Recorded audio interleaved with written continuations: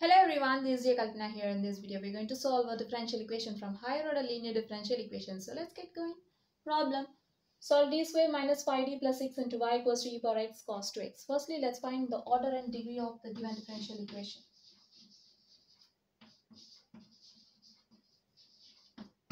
Identify the highest derivative. Here d square is the highest derivative, so our order will be 2. And highest power of the highest derivative is a degree. Degree is 1 highest power of the highest derivative is a degree. Degree is 1.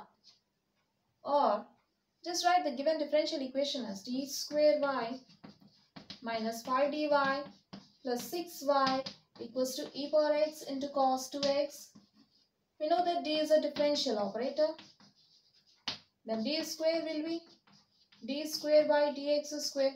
Now we can write our equation as d square y by dx square minus 5 into dy by dx plus 6 into y equals to e power x into cos 2x. Here d square y by dx square is the highest derivative. So our order will be 2 and highest power of the highest derivative is a degree. Degree is 1. Now coming to the problem.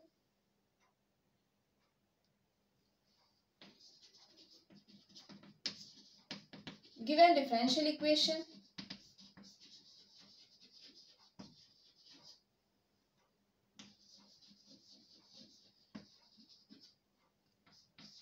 d square minus 5d plus 6 into y equals to e power x into cos 2x which is in operator form.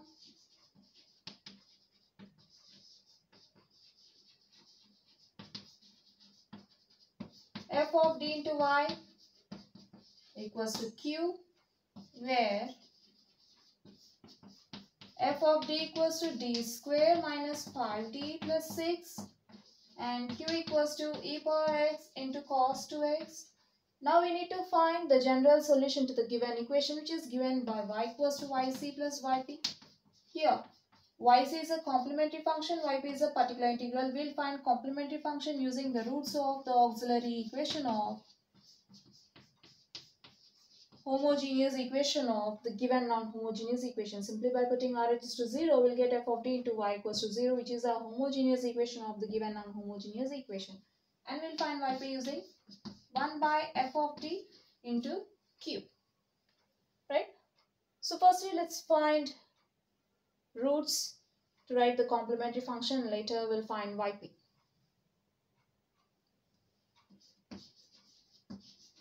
We know that the auxiliary equation of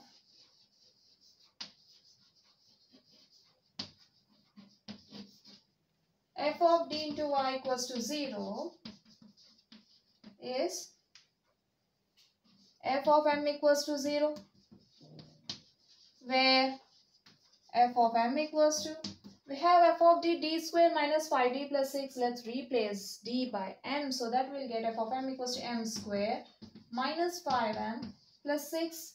Then our auxiliary equation becomes m squared minus 5m plus 6 equals to 0. Now, split minus 5m as minus 2m minus 3m. Now take m common from the first two terms, we'll get m times m minus 2. And take minus 3 common from the next two terms, we'll get minus 3 times m minus 2 equals to 0. If you notice, you are having m minus 2 in both the terms. So let's, let's take m minus 2 common. We'll get m minus 2 into m minus 3 equals to 0. Now equate each factor to 0. From m minus 2 equals to 0, we'll get m equals to 2. And from m minus 3 equals to 0, we'll get m equals to 3, right? Then the roots are m equals to 2 and 3, which are real and distinct. So m equals to 2 and 3 are the roots of our auxiliary equation. Therefore, m equals to 2, 3 are the roots of our auxiliary equation which are real and distinct. You can also call them as real and different. We know that when two roots say m1 and m2 are real and distinct, then yc looks like one constant into e power 1 root into x plus another constant into e power another root into x. Now let's write the complementary solution. Sorry, complementary function.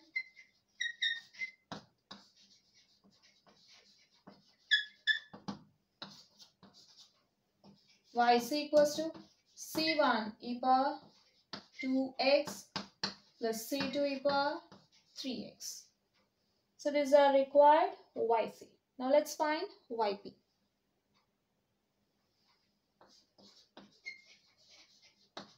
Particular integral.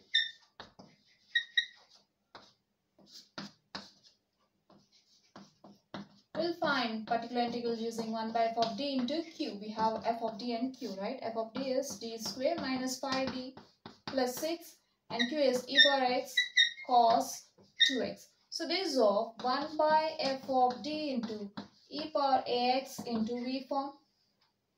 We can shift e power ax towards left by replacing d with d plus a and later we'll operate v with 1 by f of d plus a. So find d plus a, d plus a here. Compare e power x with e power ax and a equals to 1. Then for a equals to 1 we'll find d plus a which is d plus 1. Shift e power x towards left by replacing d with d plus 1. We'll get d plus 1 whole square minus 5 into d plus 1 plus 6 into cos 2x is equals to e power x into 1 by expansion of d plus 1 whole square. Use the expansion of a plus b whole square. d square plus 1 plus 2d. Minus 5 into d is minus 5d. Minus into plus minus 5 into y. 5 into 1 is 5 plus 6 into cos 2x which is equals to e power x into 1 by d square minus 5d plus 2d is minus 3d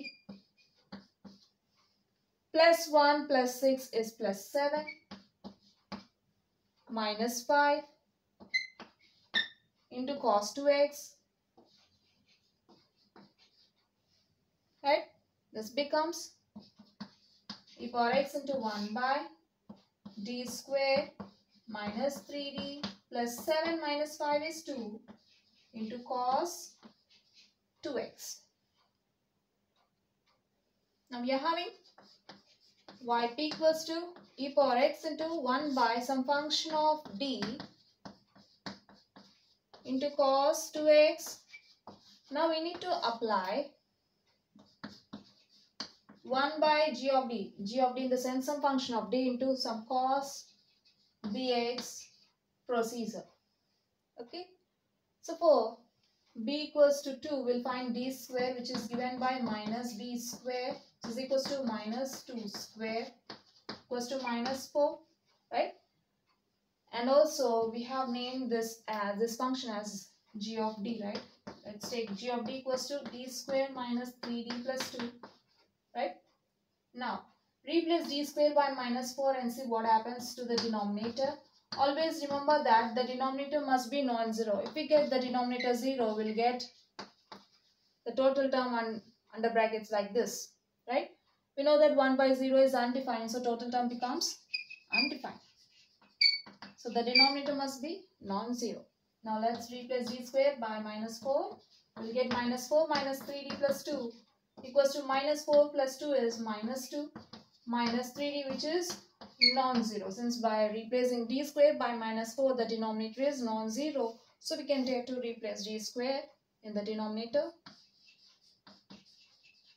Replace d square by minus 4 then we'll get e power x into 1 by minus 4 minus 3d plus 2 into cos 2x which is equals to e power x into 1 by minus 4 plus 2 is minus 2 minus 3d into cos 2x. Now take minus common from the denominator, we'll get 1 by minus into or minus 1 into 2 plus 3d into cos 2x, right, is equals to e power x into minus 1 into 1 by 2 plus 3d into cos 2x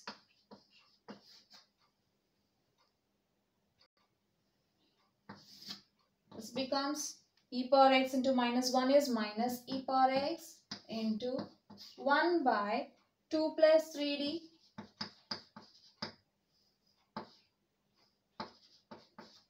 So here we are having 1 by 2 plus 3d, right? In the denominator we are having 2 plus 3d. Just change this, this plus to minus, we'll get 2 minus 3d. Now multiply and divide 2 minus 3d to this fraction into cos 2x is equals to minus e power x into 2 minus 3d by 2 plus 3d into 2 minus 3d into cos 2x is equals to minus e power x into 2 minus 3d by the denominator is of a plus b into a minus b form. So we can write it as a square minus b square into cos 2x is equals to minus e power x into 2 minus 3d by 2 square is 4 minus 3d whole square is 9d square into cos 2x. Again, d square appears in the denominator. We should always remember that denominator must be non-zero. So take the denominator part and replace d square by minus 4 and see what we'll get. 9 4 are 36 equals to 40 which is non-zero. Since by replacing d square we get non-zero term in the denominator. So what we'll do here, we'll just replace d square by minus 4. Since we got non-zero term by replacing d square with minus 4 in the denominator, so we can just dare to replace d square by minus 4 in the denominator. Then yp becomes minus e power x into 2 minus 3d by 4 minus 9 into replace d square by minus 4 into cos 2x is equals to minus e power x into 2 minus 3d by 4 plus 36 into cos 2x which is equals to minus e power x into 2 minus 3d by 4 plus 36 is 40 into cos 2x now let's split the fraction as 1 by 40 into 2 minus 3d into cos 2x. This becomes minus e power x by 40 into 2 cos 2x minus 3d cos 2x. We know that d is a differential operator. Since d equals to d by dx, then we can write it as minus e power x by 40 into 2 cos 2x minus 3 into d by dx of cos 2x. Now let's find the derivative of cos 2x with respect to x here.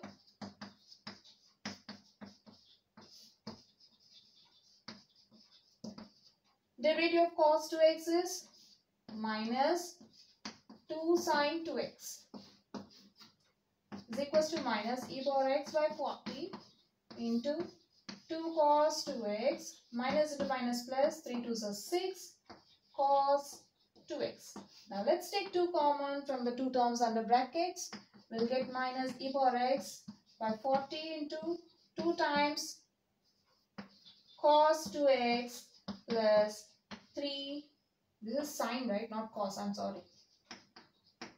Sine 2x, right? 2 ones are 2 20s are. Therefore, yp equals to minus e power x by 20 into cos 2x plus 3 sine 2x. We got yc and yp, so let's write the general solution. The general solution is given by y equals to yc plus yp.